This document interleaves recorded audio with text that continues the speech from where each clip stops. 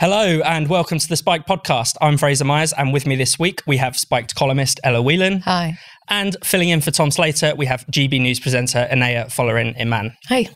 Coming up on the show, the government's COVID car crash, the botched withdrawal from Afghanistan, the attempt to cancel Rod Liddle, and the boundless entitlement of Hillary Clinton. So the government has had an absolute nightmare on the COVID front. I think it's fair to say. First of all, there's been these new revelations about a possible party at Downing Street and a leaked video to boot. And there's also been the announcement of new Plan B COVID uh, restrictions. I mean, let's start with the party first. Ella, I mean, cast your mind back to December 2020. London is in tier three. It's illegal to meet people from outside of your household indoors.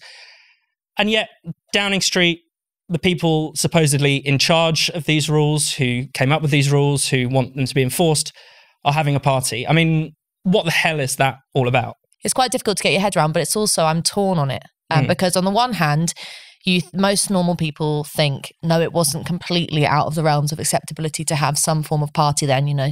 Civil servants or whoever it was spads and aides working in 10 downing street have got their laptops open shut their laptops and infamously pick up some cheese and wine and talk a bit you know? Who cares? And the kind of i think the zealotry of the pro lockdown response to that has has irked me as it has mm. done has it has done to us throughout the 20 months of the pandemic. However these are the people who were the zealot, the zealots. These are the people who were going on, um, who were either briefing ministers to go on or going on themselves into press releases, briefing journalists, saying very extreme things like you will be arrested if you go and meet your family.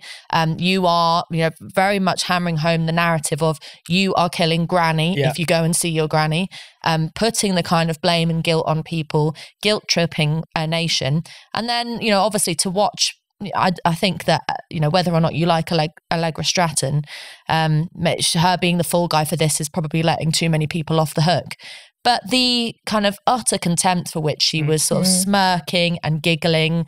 Um, you know, this is a press officer that gets paid eye-watering sums to have never done a press conference or press briefing other than the one in which she's giggling and laughing at the nation is pretty disgusting. It, I think, off the back of all the things that we've had over the last month, really, the sleaze allegations, the cronyism within government, to then, you know, have it laid out bare from different sources and different videos now that most people in 10 Downing Street, whether or not Boris Johnson knew about it or not, were basically taking the piss. Yeah. It does make you think, I think the most important thing is it makes you think, you know these people aren't to be trusted and most crucially to then now i'm sure we'll get on to talk about this to now bring in further restrictions you think this is more going more than taking the piss this is actually an insult yeah in a, i mean you know they're they're laughing at the idea of a party while yeah, in private while publicly, you know, putting on this very brave and strict face.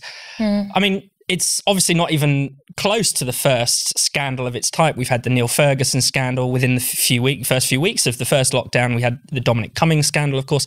I mean, is there a sense that actually, you know, the people in charge never really believed in the rules as much as they let on, or you know, or a sense that the rules maybe are for lit- the little people, not for us? I mean, what do you make of that? Yeah, I mean, I think one of the things that's really irked me the most about this is just the fundamental refusal to take any responsibility. So I think mm. that there was um, a, an MP or a minister in an interview saying that I don't know if it happened, but if it did happen, then I've been guaranteed that the rules weren't broken. So it's this kind of slippery, slidey, just refusal to just think if you speak in a certain way, if you kind of avoid it, you never have to be held accountable. And I, I agree with that. Like, I mean, ordinarily, I wouldn't have a problem with mm. people having a party, but it's also this sense that a year down the line, we are still going through these restrictions. We're still being constrained. We're still being regulated. Meanwhile, even a year ago, they weren't following it. Well, and therefore now we're still having to be subject to these same restrictions, if not even increasingly further. So I think to me, it is this is this slippery refusal to take responsibility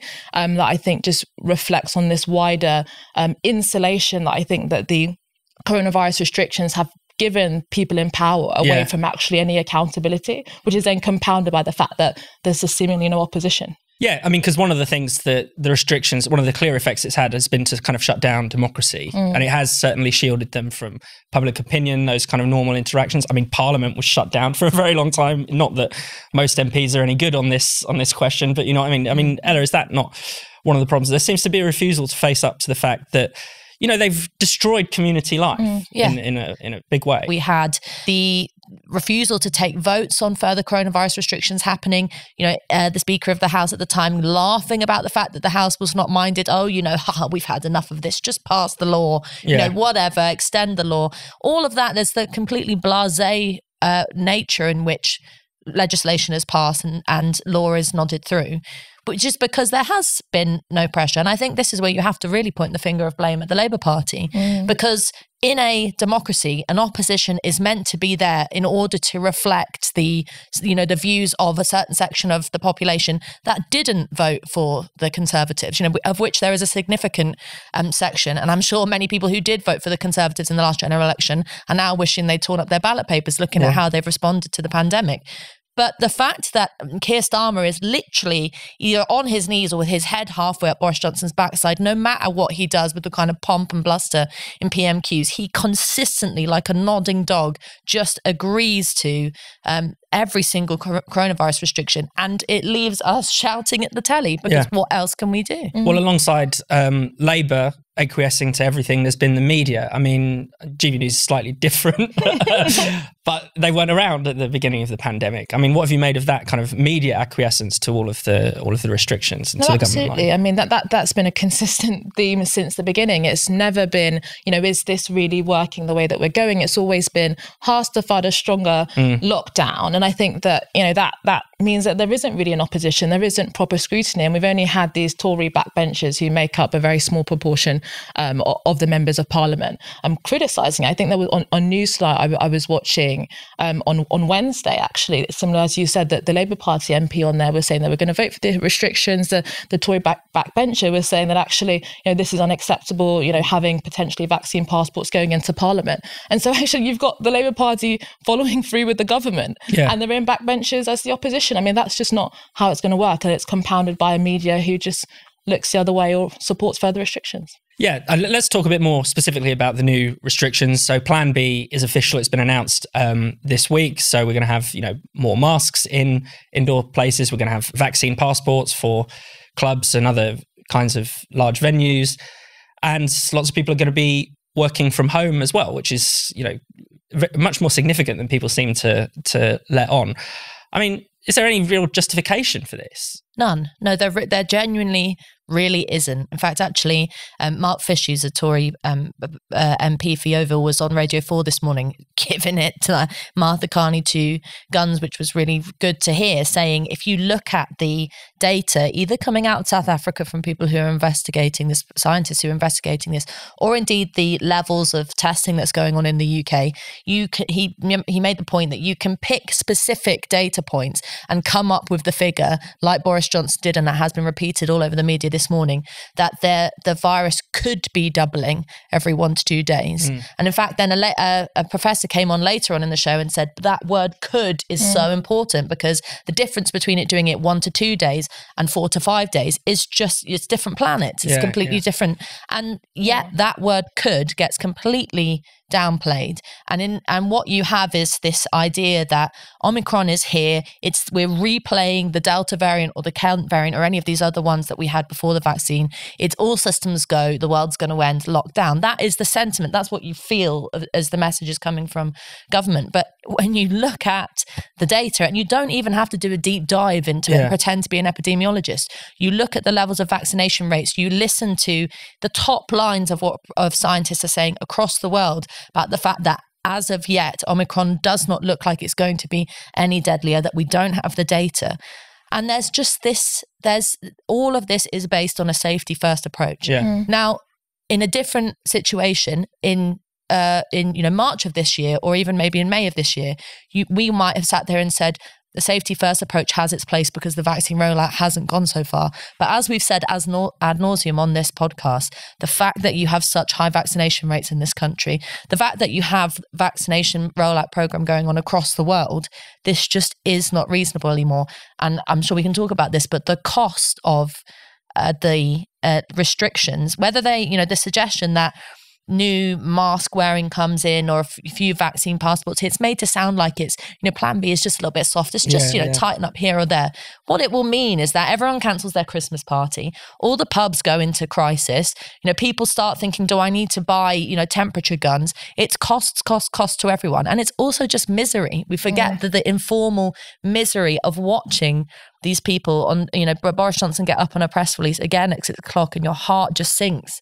And yeah. it's just, yeah. it's terrible. Yeah. Well, it, would, it, it almost would have been just as bad had he not introduced it, because the fact is, we now we're now trapped in this place where our, the next few months of our lives are going to be determined at a government press conference. Yeah. And we always have that hanging over us. I mean, it's, it's dreadful, isn't it? No, I agree. And I think that that point that you touched upon, Ella, is really important. I think that I don't know why it hasn't fully cut through. I mean, I'm sure there's many different reasons for it, but that moral argument against what we're doing, I think, yeah. is really powerful. And I do think that the data argument is important as well. We know that vaccine passports in Scotland and Wales haven't made a transformational impact as they're posed, um, but actually, this moral argument about the immiseration of society, the the kind of constraining of ordinary life, that this idea, you know, children's uh, nativity plays being cancelled, all of these little things that actually make life worth living and yeah. meaningful are just being completely sucked out. And obviously, I don't want to give a kind of reverse scare story, but I do think that moral case about what constitutes actually a life worth living, I think, does need to be put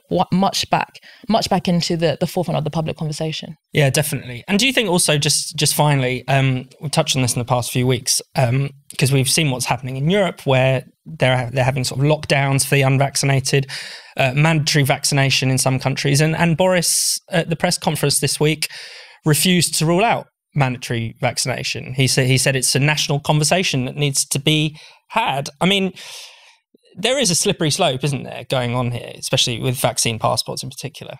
And they're slippery bastards. I mean, the, these are politicians who categorically at the start of this year said, you know, Nat, Nadhim Zahawi and others said, we will not have coronavirus uh, vaccine passports. Yeah. No way. You know, Boris Johnson, I'm Mr. Liberty no way, cut up the, you know, I'll cut up the pass if I have it. And here we are, you know, hop, skip, and a jump, and here we are. So it, it, I don't think it makes you a conspiracy theorist or indeed a sort of scaremongering panicker, mm. you know, to suggest that it wouldn't surprise me because yeah. and not because I think that the government has this master plan to crack us down no. in a kind of authoritarian way, but because it's people have been talking about plan B being brought in as a dead cat strategy in relation to you know, distracting from the party scenario, Afghanistan scenario, all the stuff that's happening at the moment. This is a government that's flailing, yeah. and and that what's that's what makes it dangerous. A yeah. flailing government with no opposition, anything could happen. It's frustrating because even just saying that you know you're against vaccine mandate. I mean, what I was listening to a, a journalist talking about it being libertarian to oppose um, vaccine mandates. I mean, yeah. and this idea that if I say that or anyone says that they oppose vaccine mandates, that that must suggest that they have to that they're libertarian. I mean, there's nothing wrong with being libertarian, but just opposing vaccine mandates is something you know that most people up until six months ago, if not a few weeks ago, would have widely agreed. And I think that we're past the point in slippery slope. That when the prime minister minister is essentially saying that um, we have to have a conversation, or it's a completely reasonable conversation in open and free democracy to um, mandate people have a vaccine. I think that that's just a complete abdication of responsibility and, cons- and saying that you've lost the argument, that you yeah. can't persuade people you can't make the case that the only thing that you can do is actually force people. I think that's that's incredibly sad. Given that it's the easiest argument in the world to make to take this vaccine that could literally keep you out of hospital or save your life in some cases and their failure to make it is really really shocking no, absolutely, and I and I, I I think it's really unfortunate that we are in this situation now. And I think you know when you, when you see what's happening in Europe, I think you know I, I went to Amsterdam a few weeks ago, and it really is now a show your paper society. I mean, now it's in lockdown, but I had to show three different documents just mm. to get into a gig. I mean, that's just not a kind of society we want to go for. And then if we're going to go further and say that people are going to be mandated, then I think that that slippery slope has really just passed. You're watching the Spiked podcast. I hope you don't mind if I just grab a few seconds of your time to deliver a quick Christmas message. Please, please consider digging deep for Spiked this Christmas. Spiked is free and we always will be. We want as many people as possible to read us, to listen to our podcasts, and to watch our videos. And if you enjoy our pro freedom, pro democracy, and very anti woke journalism, then surely you want others to enjoy that too. It's only through your donations that Spiked is able to keep going and growing. So please consider making a Christmas donation today. Anything you give will be appreciated, but there are also some special perks if you give £5 or more per month or £50 or more per year, because that will allow you to become a Spiked supporter. Spiked supporters get free or discounted tickets to all of our events. You get the right to comment on articles, you can bookmark articles as you browse, and much more besides. So please make a Christmas donation today. You can do that really easily by going to spiked-online.com forward slash donate. That's spiked-online.com forward slash donate. Thank you. And now back to the show. So, also this week, a whistleblower at the Foreign Office has revealed some of the damning failures that contributed to the botched uh, withdrawal of Afghanistan. Uh, Raphael Marshall has painted a picture of a foreign office in total disarray, you know, completely bureaucratic mess with 5,000 emails unanswered at any one time, even when they have subject lines like, please save my children. He estimates that only 5% of the Afghans who asked for assistance were able to be helped. And there are many people left behind um, who will have almost certainly been murdered by the Taliban as a result. And yet, at the same time, there is a sense that the Foreign Office really wasn't doing its job. People were kind of working at a, at a punch clock pace, uh, leaving it, you know, after eight hours, working from home. I mean, what does that tell us about, you know, the Foreign Office in particular, but also, I mean, the state more broadly? Yeah, well, Brendan O'Neill made the point in his article this week that, you know, as much as the party might have pissed people off, this screw up at the Foreign Office killed people. Quite, Yeah. quite literally. The um, bunk, whatever we think about the whether or not the West had the right to be in involved in Afghanistan um, or not, and you know, at Spiked, we don't think they had a legitimate place there. But the with the nature of the withdrawal is indisputably was indisputably Yeah. horrendous. The fact that it was so badly mishandled is revealed in Raphael's whistleblowing, in which he, de- you know, as you say, he details what was going on there. But also the fact that you know the the kind of degradation of the Foreign Office as a place to work. It used to be. For right or wrongly, the pinnacle of someone's career. You know, if you got to be have a position in the Foreign Office, you were made. That was it. It was meant to be something that you had. Okay, there was a lot of kind of um, nonsense that went on with it in terms of political prestige, but also it was meant to be sort of vocational. And actually, Yeah. Brendan mentions this word. It was is meant to be a place where you felt like you really were making a difference in the world, or at least that's what British the British establishment told itself. Yeah. And then you hear that they have had things like encouraging their staff to um, take days off, to clock out, to switch off, to you know, and have good mental health. In the abstract, that's fine. We don't like overpressing workers, but in a situation of emergency where Yeah. your job is is involved in literally saving lives and rectifying a wrong that the British establishment has done in Afghanistan, and it's directly the fault of the Foreign Office that these people are are suffering then you stay there until you get the job done. Yeah. You hire more people, you do what needs to be done. Mm. Brendan points out that three of the top ministers were on holiday. Dominic Raab was, you know, sunning himself in Crete. You had Yeah. all these different um, officials who basically didn't think that this was a big deal. And um, the Guardian's reported today that there are still hundreds of people literally in Kabul hiding uh, in sheds and stuff. Women who were teachers, people who were English translators, who, if they are found, will be killed by the Taliban because they were promoting British values and were employed by the British state. This is, it's horrendous. And, you know, ev- like we were saying about the party, that's one thing, but Yeah. this is, this should be making the front pages. No, it's extraordinary. I mean, can you really run the Foreign Office working from home? It's just nonsense, isn't it? No, exactly. And I think that it really does reveal some of the uh, uh, huge drawbacks of these this bureaucratic infrastructure. You you lose this sense of urgency. You lose this sense of the the humanity, this humane sense that comes with actually this full sense of responsibility that you have, particularly when you're actually working together about something that's incredibly important. So, kind of working from home, seeing lots and lots of emails, you can kind of clock out at, ev- at any time that you want. There Yeah. not this kind of sense of responsibility or accountability or solidarity mm. um, that you can you would ordinarily have in other situations. And I think you're totally right. I mean, the the Foreign Office or becoming the Foreign Secretary was positioned as one of the great offices of state, whereas now it doesn't seem to have that sense of prestige. And what happened during the Afghanistan, um, the horrendous uh, withdrawal that happened with Afghanistan, you know, someone the, the Foreign Secretary Dominic Raab being on holiday, yeah. no sense of urgency there. And I think I think I think it's just another demonstration about the way in which many uh, institutions within our country are being degraded without a sense of clear moral purpose. One of the um, other really shocking revelations um, to come from this whistleblower was that essentially the evacuation of animals was prioritized over the evacuation of humans. So the, these were the animals of the Nowzad charity um, run by Pen Farthing and you know this whistleblower has no doubt that human that li- human lives were put at risk as a result of this. I mean, what does that say about this government, about our society? I mean, it's just crazy and depraved, isn't it? It's disgusting, and it's uh, not only that; it's the allegation at the moment that the charity, in, in which actually the charity has uh, said that it went through Carrie Johnson and mm. used connections that you know Boris Johnson's wife um, to go through Carrie to get Boris to get the sign off to push this as a priority to get Pen Farthing his wish to fill a plane full of dogs and animals while people were, you know, t- to rewind back our minds because, you know, it's not exactly been a huge amount of time since it happened, but news moves so quickly.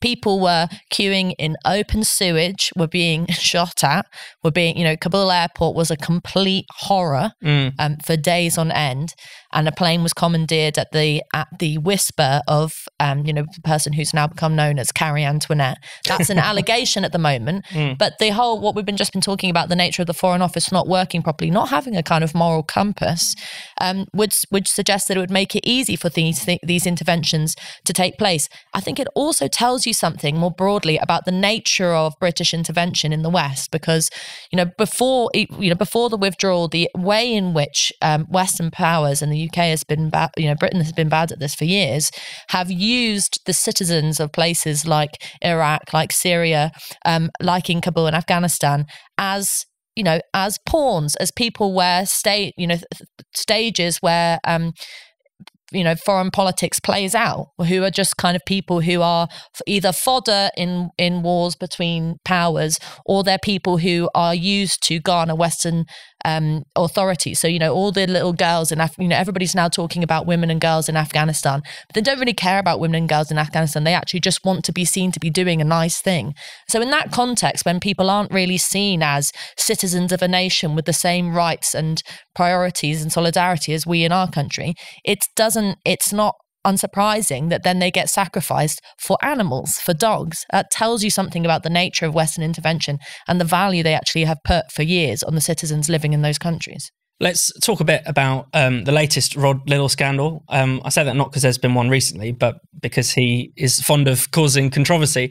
Uh, so he spoke at Durham University uh, on Friday night. He he made a few jokes. One of them being he was disappointed to see so no sex workers at the event referencing uh, Durham University giving a, a training course to um, help student sex workers. Since then, there's been an enormous fallout. Um, students walked out of the event itself. Uh, Tim Luckhurst, the head of South College in Durham, who invited Rod, called those students pathetic.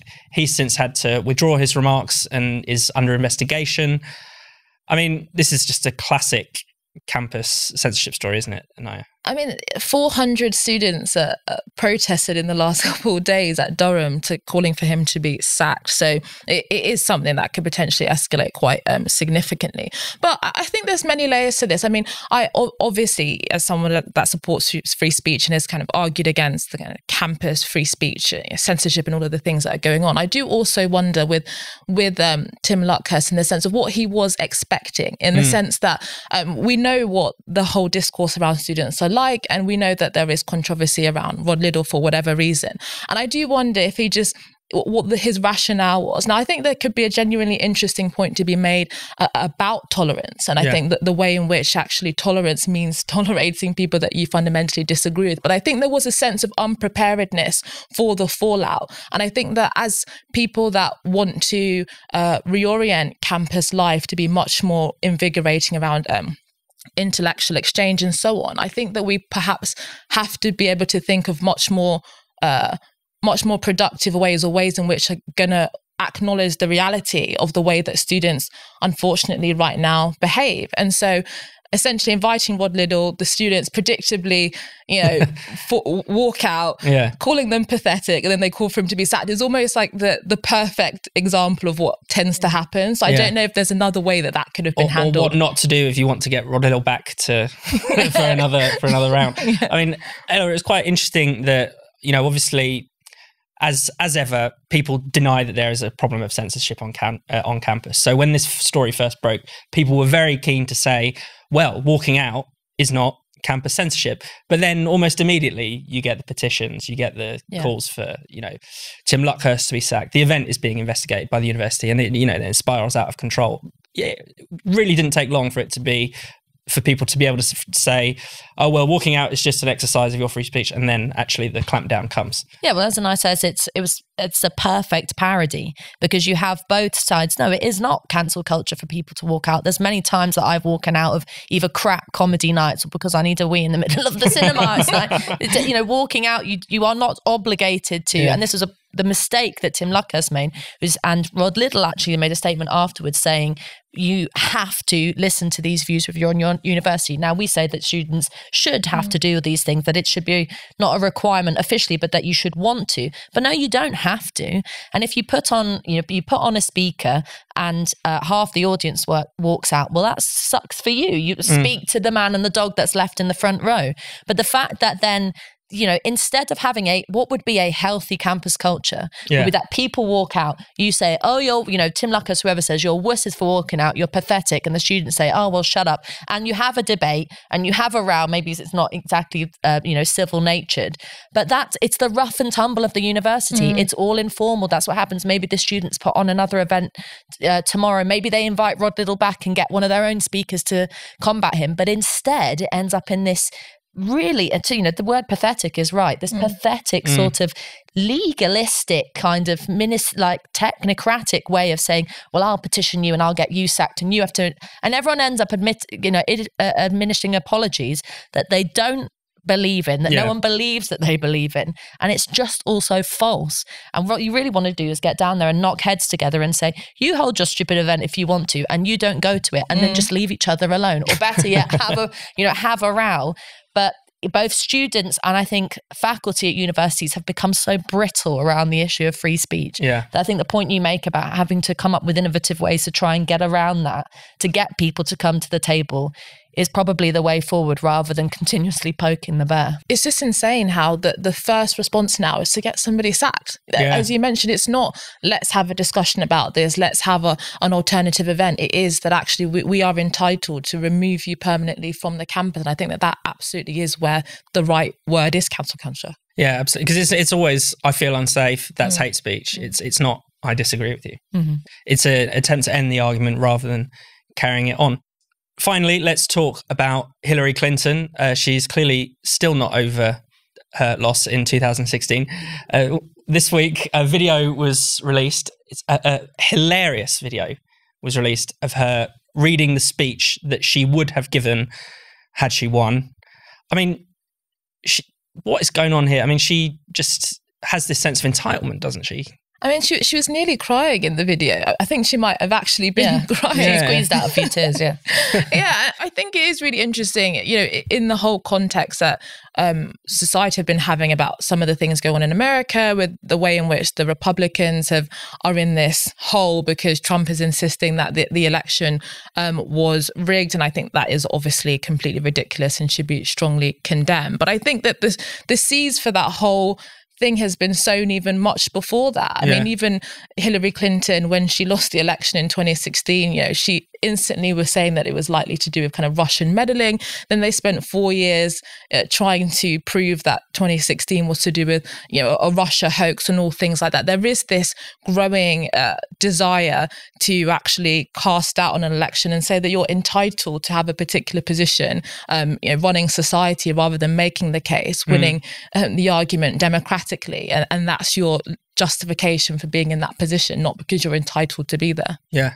Ella. But also the fact that this was part of she was doing a masterclass, which is mm. this series that you know you get celebrities or you know, sh- people with talents like a chef or a photographer or you know an actor or something that teaches you their what they're, they can give a masterclass in. And the fact that she was giving a masterclass in her leadership skills, Yeah. you just think, hang on a minute, as someone who categorically lost one of the most high profile elections of the 21st century, you have some gall getting up here and hmm. saying that you have some hmm. wisdom to impart here. It- you know, it is, it really quite perfectly encapsulates exactly why she lost. Yeah. because she is the establishment figure that oozes the self-entitlement that kind of don't you know who i am? I am uh, this was i was my birthright. In fact in that video she's crying and she says i was supposed to tell my mother that her little girl would grow up to be the president. So Yeah. well sorry you didn't because that pesky lot the population of voting public got in your way. And you know as you know i think you make a really key point which is that the idea that everything that's wrong with America at the moment, and there's a lot wrong with America at the moment, happened because the big blonde fool Donald Trump came in and screwed everything up and everything was perfect beforehand is a complete mismatch from reality. Hillary Clinton should know by now that the reason she lost wasn't because Donald Trump was such a superstar, but because she was riding on the back of a serious amount of discontent mm. with what the Clintons represented in terms of a corrupt establishment within America. And so, eh, but you know, this is what the establishment does. They are completely blind to their own failures. I mean, what was she going to do? Go away and say, okay, I'll just be quiet on my farm somewhere, and you know, like Yeah. me and Bill will be have have tea for the rest of our life. No, she's going to cap- try and capitalize off her celebrity, and we should not take her seriously. Yeah, and I think it also just demonstrates that you know, five years down the line, not much has been learned from many either her supporters or, or, or many people like her. And I think that you know many of the the things, as you rightfully mentioned, that sowed the seeds for Donald Trump's um, rise in 2016 seem to still be there, if not much worse. And Yeah. I think that you know America deserves much better. American people deserve much better than this um, entitled elite that think they're kind of born to rule and don't need to make the democratic case. And and whatever madness the Republicans are going through right now, I think the American people deserve much more. Thank you so much for watching the Spiked podcast. We'll be back next Friday. If you hit subscribe and click the bell, you'll never miss an episode. And in the meantime, why not check out all of Spiked's other videos and podcasts on this channel?